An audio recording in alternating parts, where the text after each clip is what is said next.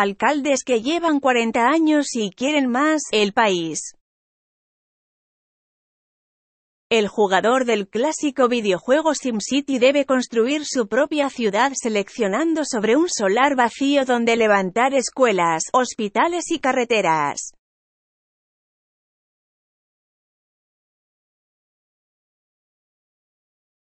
En la vida real, Luis Partida, de 72 años, ha hecho algo parecido en Villanueva de la Cañada a lo largo de cuatro décadas de mandato como alcalde.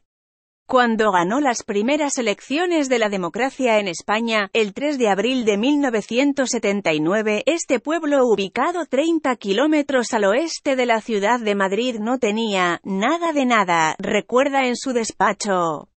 A su alrededor tiene un municipio donde ha inaugurado casi todo, cortando cintas y poniendo primeras piedras aquí y allá. Al principio había algo más de mil vecinos censados y hoy son 21.000 según el último padrón, de enero de 2018, y más Delaware 40000 si se le suma la población flotante de estudiantes de las dos universidades que viven en pisos compartidos y también chalés que son el modelo de vivienda más común en el municipio. Partida es integrante de un selecto club de 31 alcaldes españoles que en dos semanas cumplirán 40 años de gobierno municipal en democracia, según los datos de la Federación Española de Municipios y Provincias.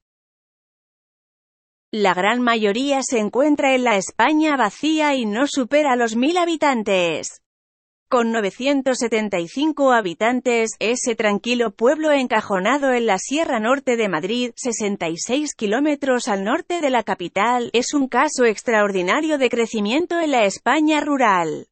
A los dos pareciera darles algo de vértigo abandonar el poder en conversaciones por separado en sus despachos, donde tienen sus bastones de mando y recuerdos de toda una vida, admiten que habían pensado que lo dejarían tras el mandato que concluye este año, pero ambos han reconsiderado su